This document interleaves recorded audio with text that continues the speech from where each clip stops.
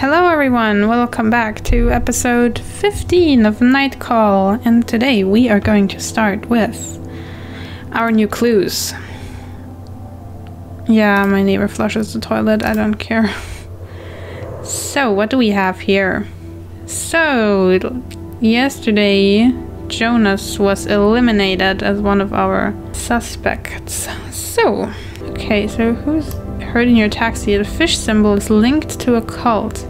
Yeah, but what I'm wondering is why is the fish symbol that was drawn on the wall with blood only her thing if she is in the same cult as Apollonie? Why isn't the fish symbol also something that could be linked to her? Oh, but the fish is also the original symbol for Christianity. Hmm. Messages on the crime scenes really point to, to Gilda again. Oh wait, what's that? Victim 3? Witness heard female voices. So that's like... Yeah, I again, I think I don't... I, I Again, I don't think that Evie did it. Um, okay, victim 3 was... Oh wait, victim 3 was also part of the cult? Why, again, is this still only her? She is part of it too. Would cult members really kill one of their own? So victim number 2 and 3, Apollonie knew them. Because they were all three... No, victim number 1 and 2 knew them. Well, also doesn't make sense. If Apollonie claims that she's a vampire, why had victim number two garlic in her hand again, which doesn't make any sense because I thought victim number two was a guy. I'm so confused and I don't even know where to get new info or I don't know. I can't seem to visit this point of interest as one point. I don't know why. If it's a bug or if it's not meant to be visited because maybe it's connected to Jonas which wouldn't help us much. I don't know, it could also be like Gilda, who sets the Moonflesh cult up because she hates the cult. I don't know. What really intrigues me are the messages on the on on the wall. Message on crime scene number one is only one god. We don't know a lot about victim number one, except for he was a firefighter, wasn't he? Because it would have made sense if victim if if the victim was part of the Moonflesh cult and then Gilda killed him and wrote only one god because I don't know. I don't know anymore. I don't know about cults. We have nothing to look at, do we? No.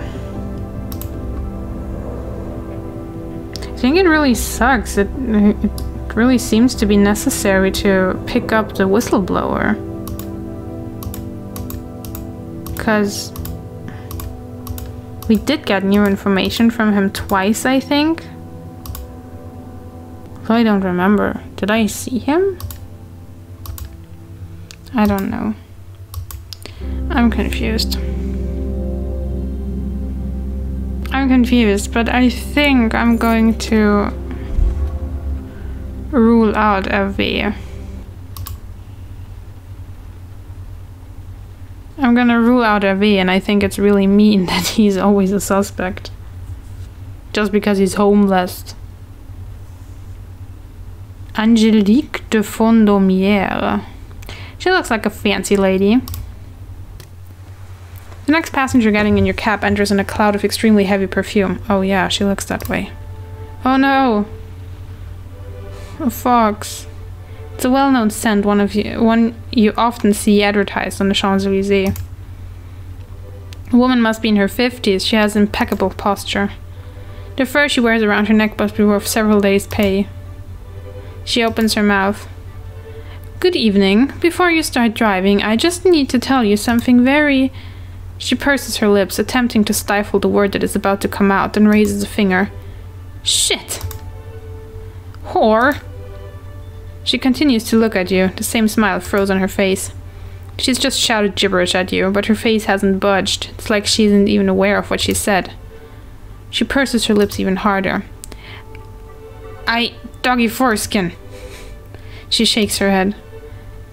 I am truly sorry. I... please, hear me out. You are so taken aback that you find nothing to say. I am suffering from major emotional trauma. It seems to have triggered very strong verbal episodes. They're exhausting, to be honest. I hope you can shit understand. Please know that I don't believe a single word that I'm saying. She smiles. Tiny dick. It's my husband. She shrugs. Married for 25 years, two kids, a house on the coast, all sorts of fun plans for the future, then a sad smile flashes across her face. Eat shit. She looks at you. He certainly did a job on you. My husband is a very Nazi rug muncher, unique person. But indeed, I'm sorry to say it now, he really hurt me. She grins for just a second. Here I am discovering how to live alone for the first time, at 50. Crazy, isn't it? Toilet brush up your ass. It's really not easy. You bite your cheek to avoid laughing and start driving. With a bit of luck, your passenger won't say anything for the remainder of the ride. Your passenger heaves an odd sigh. He didn't even take me home. She's talking to herself and her voice is steeped in sorrow. I wasn't asking for much. A little tenderness. Rotten phallus. He's my spouse, after all. My husband. Married for 25 years. 25 years. Hmm, everything alright? Well, I guess suppose it's not. Let's just ask her. She lifts her head abruptly. Beg your pardon? She lowers her eyes. I was talking to myself. Lukewarm shit. Please forgive me. Is everything alright? I don't know. I don't know anything anymore. He leaves me, he ignores me. Asshole. He sends me a bouquet of roses for my birthday and invites me to dinner. Then leaves as soon as the bill is paid. She freezes. She stays that way for a few seconds without moving or breathing. You okay? She suddenly heaves a deeply sorrowful sigh. Not from the heart, but from her gut, her bowels. You jerk off. You're young. You raise your gaze to look at your passenger. Perhaps you don't realize what it does to you. Actually, no one seems to understand. She's shaking. Shit! It's all ending. Everything is broken. It's all a waste. She stares at you. You can see the shame in her face, her cheeks turn crimson, her eyes full with tears. Please forgive me. I ask you, bitch, to please, whore. Forgive me, bastard. Uh, I'm just gonna say nothing. I don't know a lot, but I don't know if Tourette is something that you get from trauma? Uh, I'm just gonna say nothing. I don't know what I'm saying. I don't believe it.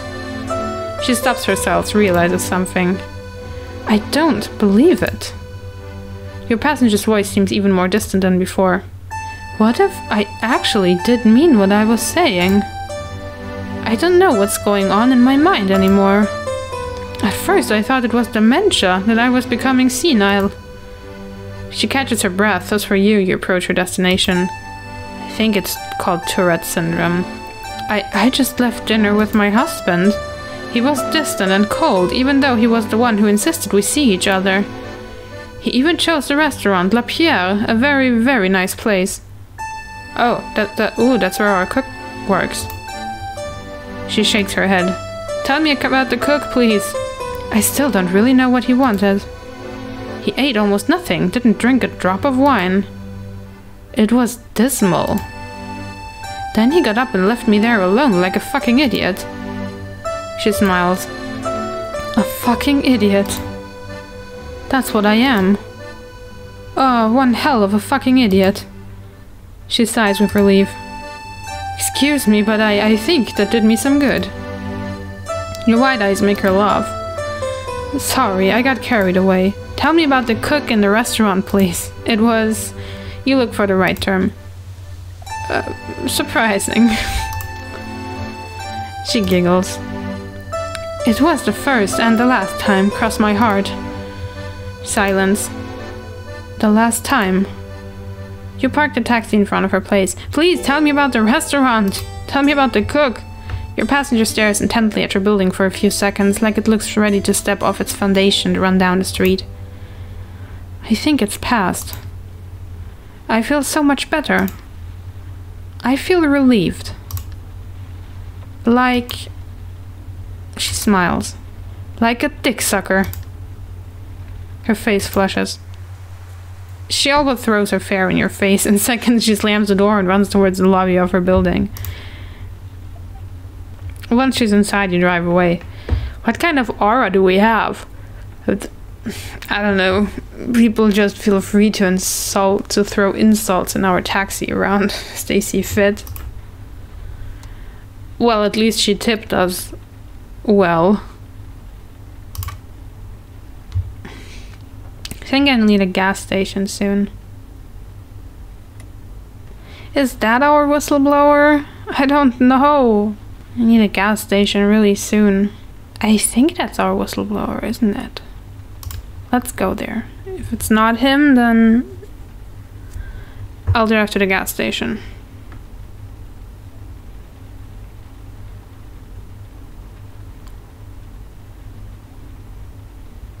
No, that's the pastor. Ah!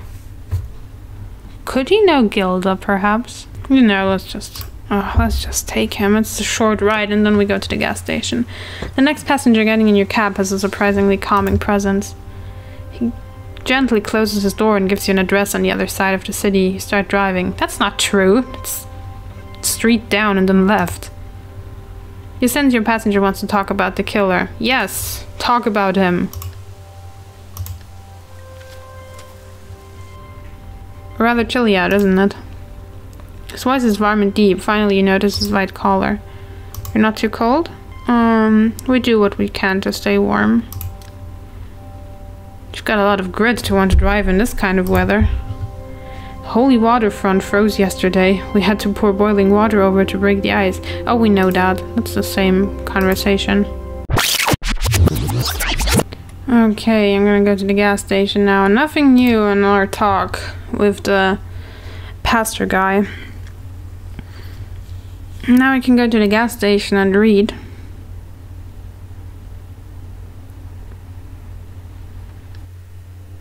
Not read, but talk to the guy. I was wondering maybe if we buy a newspaper, we get a new clue?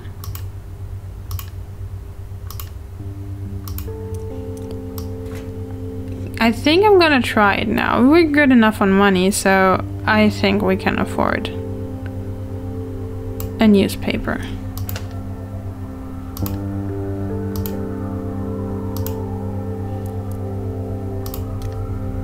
So we're gonna talk to the murder. not gonna talk to the murderer. Ah, oh, what's wrong with me? We're gonna talk to the clerk.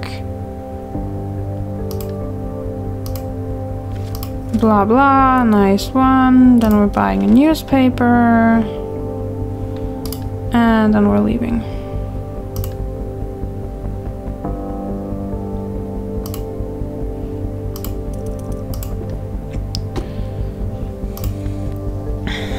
So I'm just gonna take a look who we can drive now. Wait, I know, that's Gilda. Oh, I was wondering why her face seems so familiar and that's Gilda. Okay, let's drive her.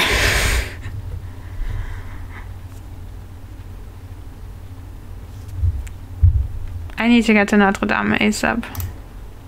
You got it. Your next passenger slips into the cab and closes the door with incredible care. Good evening, sir. She's one of the suspects, and her voice rings like a chime, high pitched, discreet, ethereal. Notre Dame de Paris, please. As you pull away, you glance at the time, not exactly time for a prayer. You drive in silence for a few minutes, glancing at your passenger. She seems so fragile, you can't imagine her in the act of my friend and I were wondering if you knew where the secret entrance to the catacombs is. Her question pulls you out of your thoughts. A secret entrance? yeah, you know, the catacombs. There's the main entrance, and there are the hidden ones. They're not open to the public, of course, but that's what makes it fun. The way she said fun made her sound about seven years old. Could she be a murderer? We'd love to visit them on our own. You shake your head. Unfortunately, you've never heard a thing about a secret entrance. I don't know. Sorry. She seems disappointed.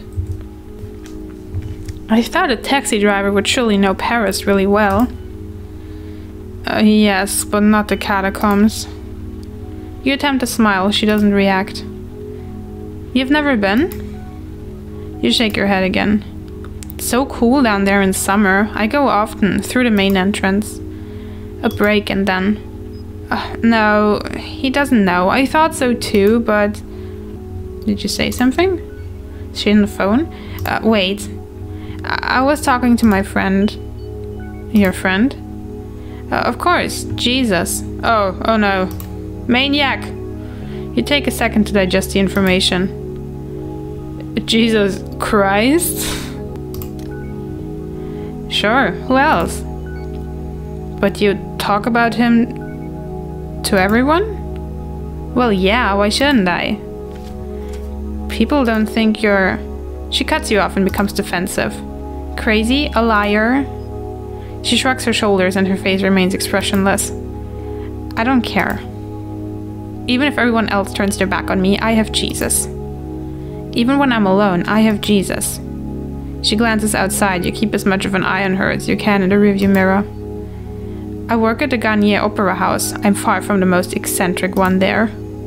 So Jesus and I are fine. People leave us alone. She lets her face relax, smiles. What about you? Anybody speak to you? Uh, I don't think so. I'm really lucky. I have Jesus Christ by my side. But what does he say to you? He's always by my side. She pauses as if realizing she hadn't been quite clear enough, not precise enough. Like she could tell you didn't get it. He talks to me about people we see. He tells me who's good and who is bad. Oh, oh, oh, oh, oh no, she's it. She, she's the murderer. I know it.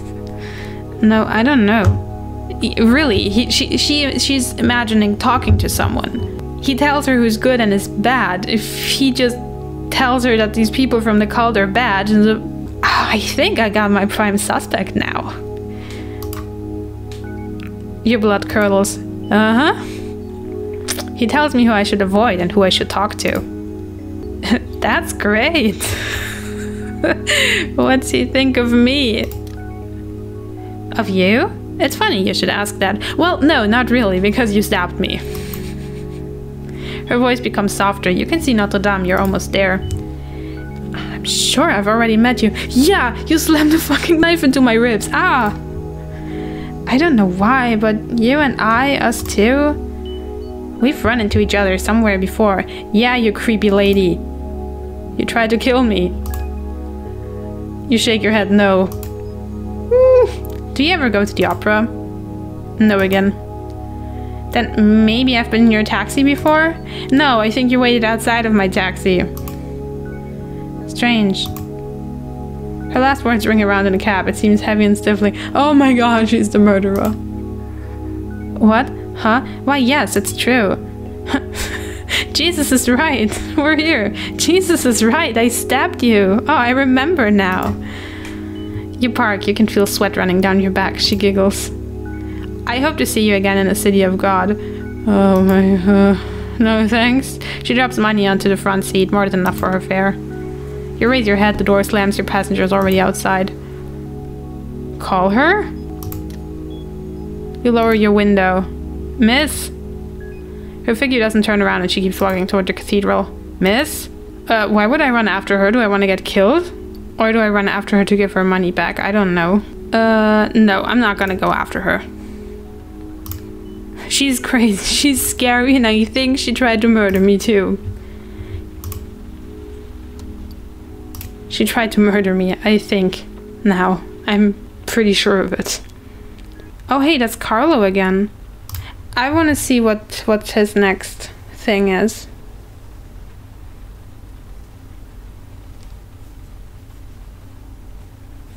No, it's not. Oh, he looks so much alike. That's the womanizer guy. I don't want. No, I don't want to do that. Okay, no. I think I'm gonna go. I'm gonna give the newspaper a try now. Pull a newspaper out of your glove compartment and start leaving through it. Eventually, something grabs your eye. It's just a few lines, a funny anecdote. A man disguised as Santa Claus had to be taken off the roof of a building by firemen. Aw, Santa. He didn't find his sleigh after all. He was highly inebriated and stated he did not know how he had gotten there. Ah, that sounds like Santa. You turn the page and stop. You've read about a third of the newspaper. Uh, I'm gonna keep reading. You stop reading and go back a few pages. You thought you saw something. It's a rather enthusiastic article about a bar named Napo. You make note of the information with interest. In your line of work, that kind of thing can always come in handy. You only have a third left to read. Um, read the whole thing. As soon as you get to the page you stop, your instinct tells you to look at. It's a short article mentioning the strike led by a handful of employees of Confiseries du Marais, a luxury candy brand. These employees demand better wages. The owners, the Groupe Diamant, are threatening to relocate their factories abroad. You shut the paper, it'll end up in the trash tonight. If you remember, it's there, otherwise, it will spend the rest of its days in your glove compartment. I'm disappointed. Oh wait, that's uh that's that's Jonas. That's our um that was our one suspect who had an alibi. Yes. Although maybe I shouldn't make any assumptions anymore on who's who based on the pictures because I have guessed wrong so many times this today. Yeah, okay. I'll just I'm just I'm interested in listening to him. The passenger getting in your cab barely says hello. Oh, how nice.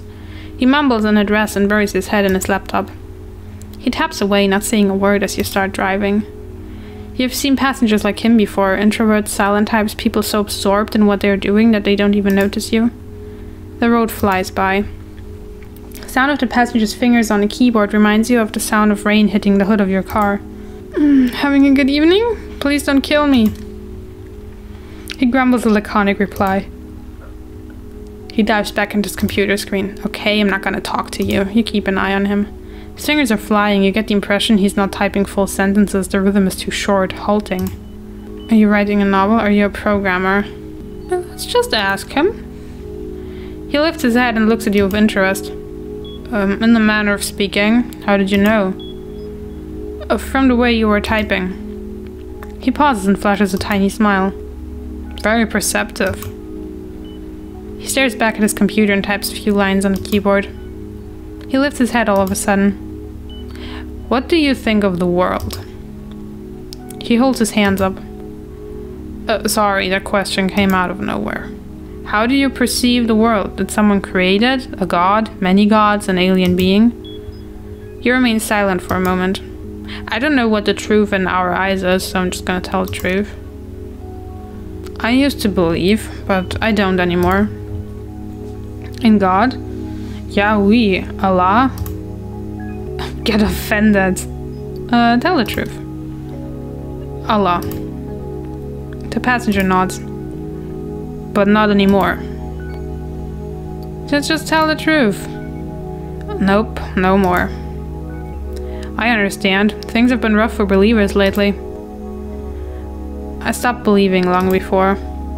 He smiles. You hesitate and say, Just not interested. He smiles at you. I get it. I feel the same way. Personally, I believe that all of this, he indicates the world around him, is of absolutely no importance. The world doesn't exist. The earth, the moon, the sun, how you felt when you got out of bed this morning, none of that exists. He pauses dramatically, no way to know whether or not it was on purpose. Um, let him keep talking. I want to know more about his theory. He clicks his tongue and stares at you. You feel uncomfortable. All of this is a simulation. I sincerely believe that. A computer simulation? He flashes a crooked smile. Exactly. We're more of a scientific experiment, a cryptocurrency mining operation. Or maybe even an accident. No more, no less. He pauses and looks at you. How does it feel to learn that the world doesn't exist? That our God is nothing more than a computer program? It's interesting. He raises his voice slightly and seems excited. Alright, it's a theory. He smirks. And we'll probably never really know the... That's why I'm working on this project. He glances at his computer. I'm trying to figure out whether or not we really are in a simulation. We live, we eat, we sleep, we love. But if we deliberately try to put an end to the simulation, we might disappear. He stares intently at you. We are. He snaps his fingers. We are no longer. He seems to love that part of his speech, he's relishing in it. How can I prove it? Well, first I have to find a flaw in the system. A flaw? Yes, if we are a simulation, we were programmed. And the ones who programmed us either made mistakes or tried to save money. Let him keep talking. So we just have to find the float value, the weak spot, so we can break it. We've got to crash the simulation and die in order to understand our own reality. It's a terrible fate, isn't it? Die to exist. Die to become real. Die to make our existence materialize. He pauses, smiles, stares. How does it feel to learn all that? Are you angry? Are you disappointed, sad, defeated, ready to commit suicide? Are you trying to recruit me as a test subject? I go through all of those phases every day. Oh, that's sad. He sighs. I tell myself the world isn't ready yet. And yet it's our future to discover our reality. He chuckles. You park your taxi in front of the address he gave you. He looks deeply into your eyes. So, how do you feel? You're crazy. I feel scared. I don't know. Excellent answer. Yay, he likes me. Glad he's not the killer, and I know it. A scientist's cardinal rule always doubt, always question, and always verify. One day, if an atheist states that Allah doesn't exist, that he knows this because there is no scientific proof of his existence, you will know that he does not have a true scientific mind. He looks up at his building, talking and talking and didn't even notice we'd arrived. I thank you kindly for this talk. It's always been interesting to bounce ideas off one another to put them to the test. After all, we're waiting to wage war with the person or entity that made us. He pays his fare and gets out. He disappears quickly into his building, his laptop under one arm.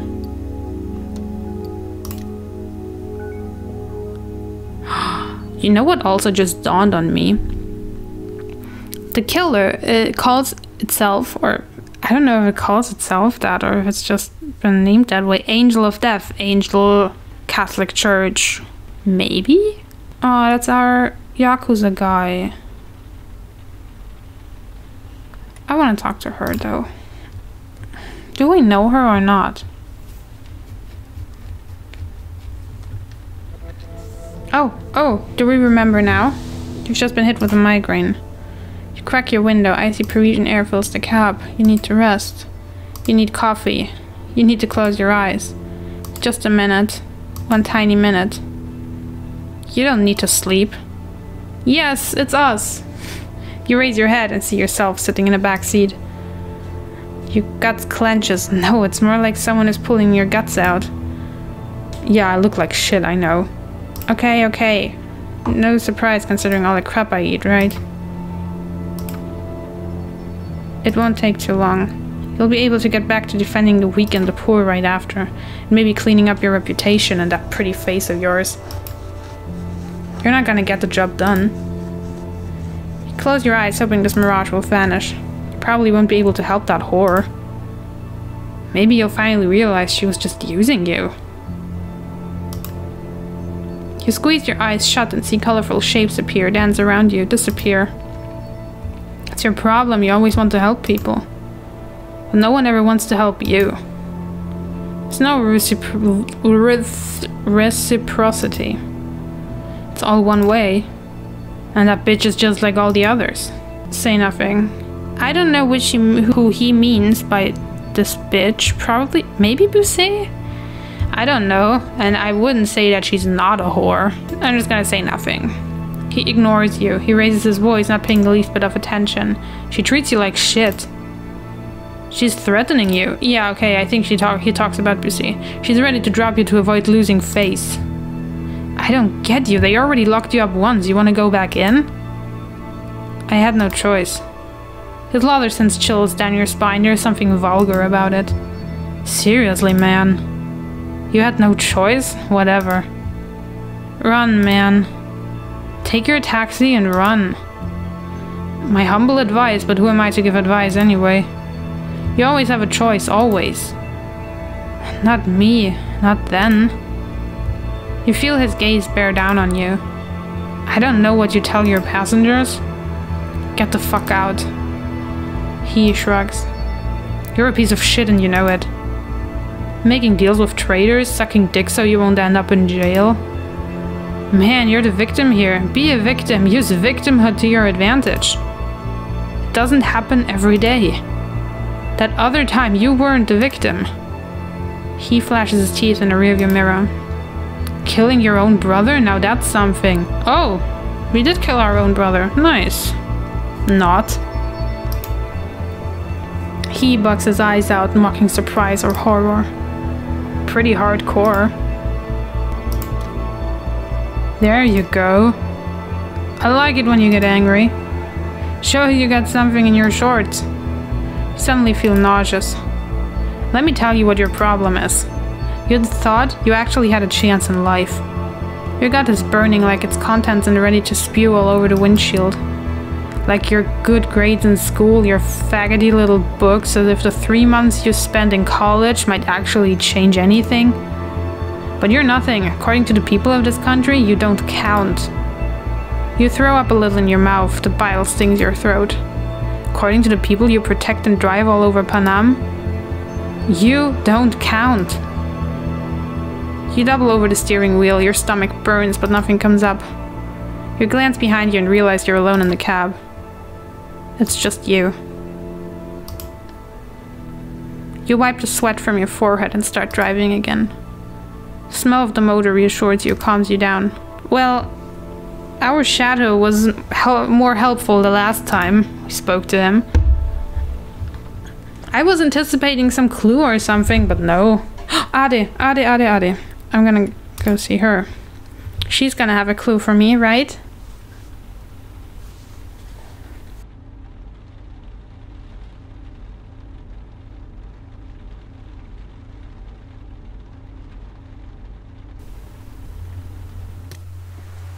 Passenger who enters the cab is a regular.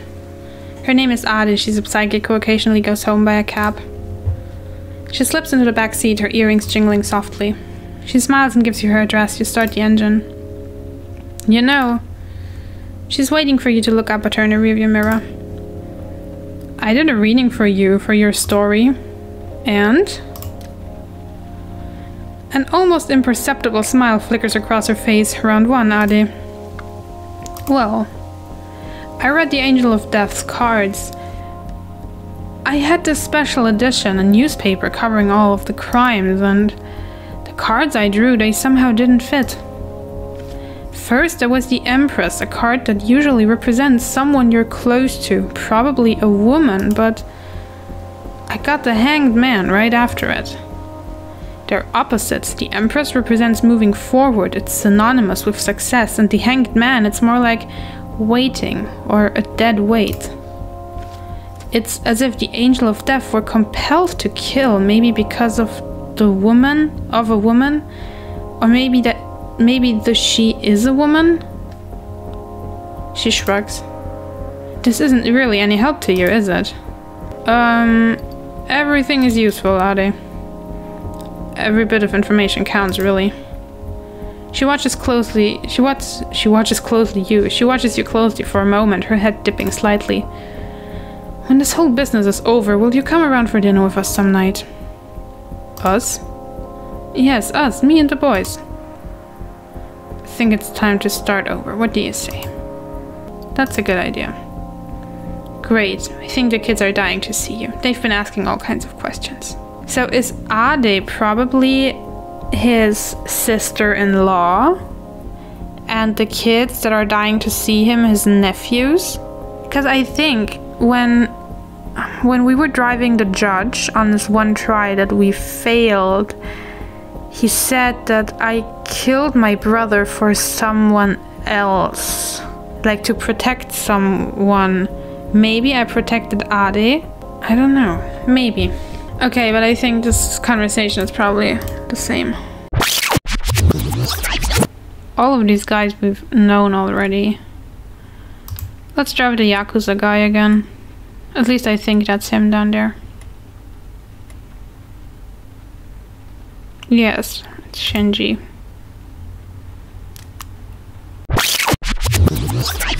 Okay, so we drive we drove him again and we had the whole Yakuza conversation again. He still didn't understand anything.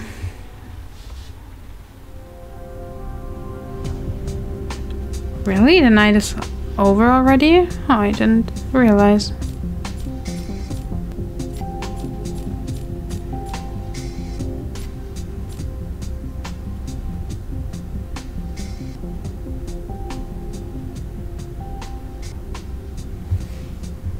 Yep, I have met Gilda and I have met Jesus Christ. No, I haven't met Jesus Christ. I only met her.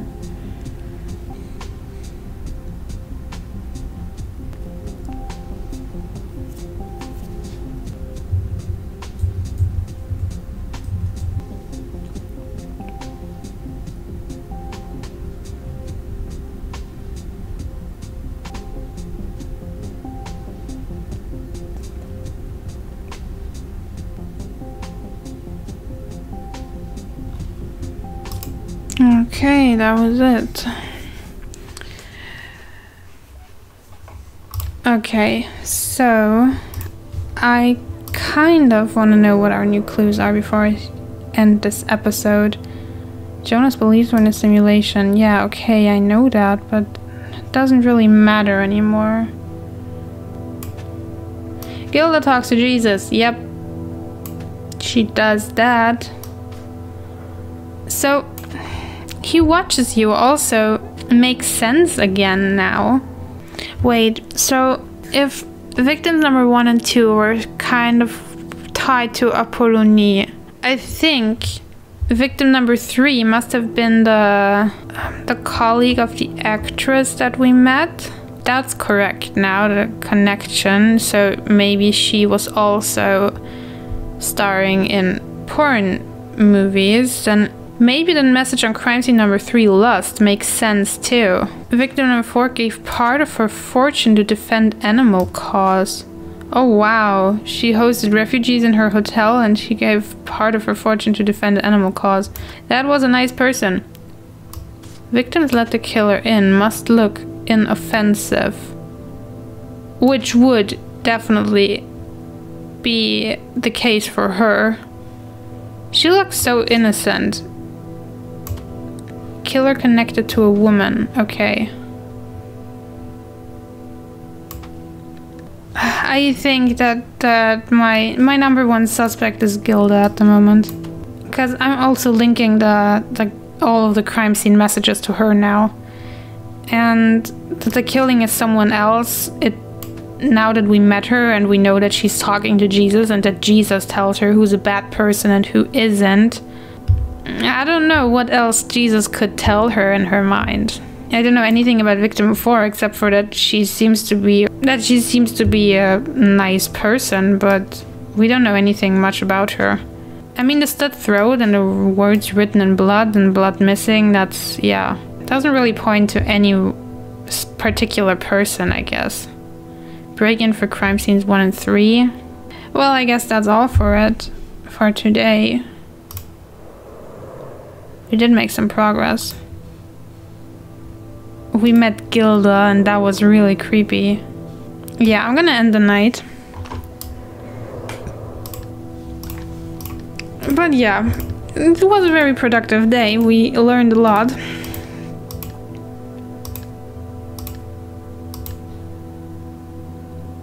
Was that really Santa Claus? Maybe, I suppose.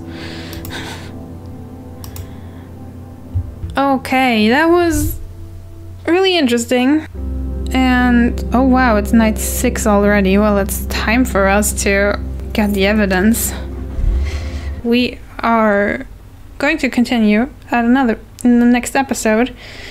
And then we'll probably drive someone else because I will be restarting the game then. So we will see who will be our our next passenger will be. Thank you so much for watching, and I will see you next time.